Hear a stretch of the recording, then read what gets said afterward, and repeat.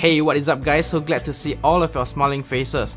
In this video, I'm gonna share with you my experience of setting up a business entity in Malaysia, or to be specific, a sole proprietorship. I've documented everything that I've learned in this entire process as a complete beginner, so stick until the end because I'm sure you will find something useful because it is tax, right? And not everyone talk about tax. But trust me, this is a game-changing finance knowledge. Before we begin, a smack of the like button will be very appreciated. Thank you very much. And without further ado, let's jump right into today's content.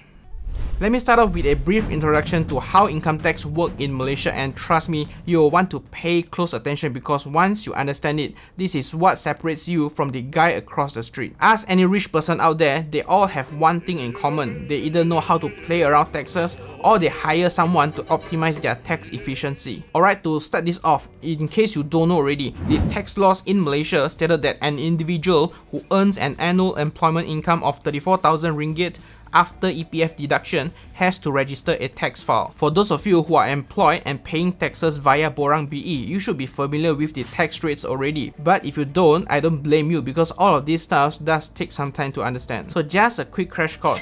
If your monthly gross income is 5,000 ringgit, that means your annual gross income would be roughly 12 times 5,000 which is 60,000 ringgit. Now that 60k is gross income or gaji kasar and you can then further deduct that amount with tax relief such as medical expenses, insurance, PRS, SOCSO, laptop and smartphone which I'm sure most of you will claim even though you did not buy any of it. So after deducting all of those tax relief, say total 15,000 ringgit, you are then left with 45 35,000 ringgit, which is the taxable amount for the particular year. So we can refer to this tax bracket for the range of 35,000 to 50,000 ringgit. So for the 45,000 ringgit taxable amount that we have just now, the first 35,000 is up to 600 ringgit and the next 10,000 ringgit will be subjected to 8% which is 800 ringgit. So all in all, I have to pay 1,400 ringgit of taxes in that year before any tax rebate. I hope you can get this. If not, just rewind this section because this is key to understand the sole purpose of setting up a business. So with that in mind, I can then explain to you why I set up this business entity.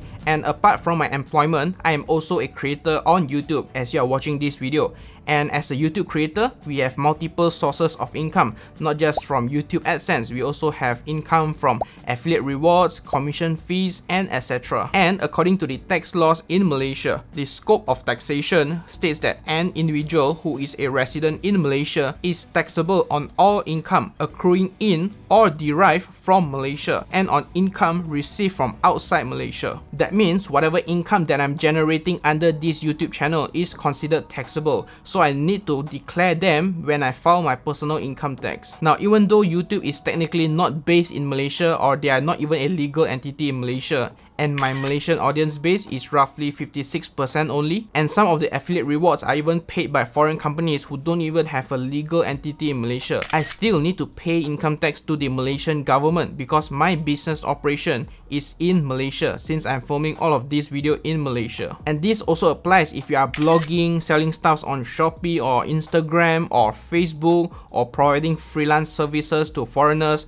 most of them are considered taxable income. With that said, since my taxable income now increases due to the various sources of income, I will then move further into the higher tax bracket, which also means I need to pay more taxes. So in order to pay less tax to the government legally, I can then introduce something called business expense, which is in layman's term the cost or expense that you incur that is tied to the generation of your business income. So for example, my business is YouTube and I upload videos on YouTube channel to generate YouTube AdSense revenue. So in order to make videos like this one that you are watching, I need to incur costs to buy camera gears, microphones, lightings and etc and that is how I can treat them as my business expense. If you are not sure the expenses that you are incurring are considered deductible or not, then ask yourself, did you incur these costs to generate your income? And if you are still unsure, it is advisable for you to ask an accountant to get the most accurate answer. So as I've mentioned earlier, my business entity is classified as sole proprietorship. And just to give you a rough idea,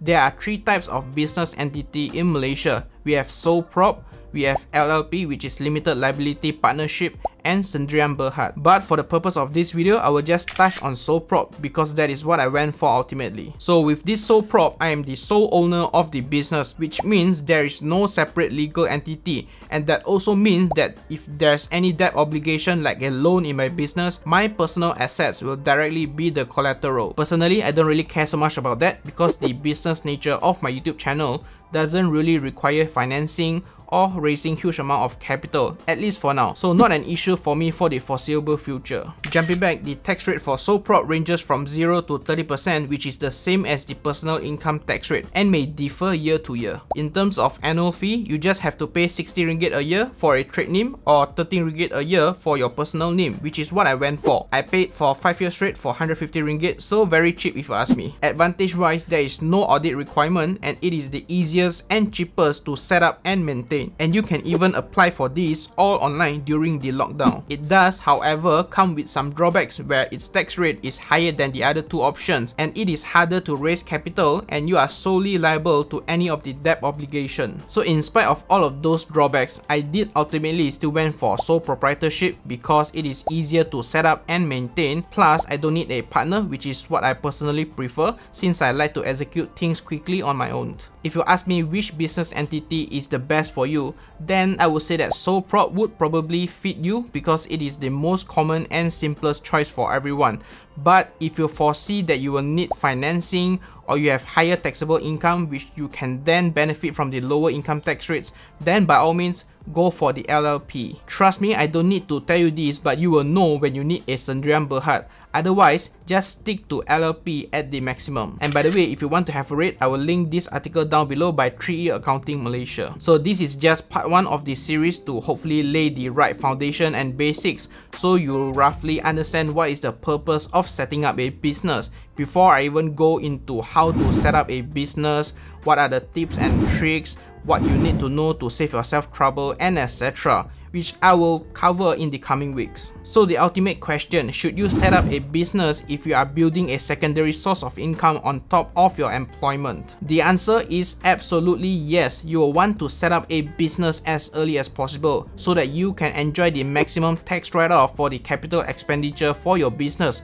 such as expense like buying laptop or a smartphone and etc. If you already have a business, feel free to comment your experience or anything down below in case I've missed anything and hey I'm still a beginner to all of this who knows, we can all learn a thing or two from you. And by the way, do check out the pinned comment down below. I will compile all the useful tips and tricks and guides from the community from time to time so that we can all help out each other. Anyways, just a quick disclaimer, I am not by any means affiliated with SSM Malaysia, nor am I a certified accountant, legal or tax advisor. Everything that I've shared in this video is based on my personal experience only. So that is all for today's video. I hope you find it useful. And with that said, thank you very much for watching. Stay safe, stay invested, and as usual, I will see you in the next one.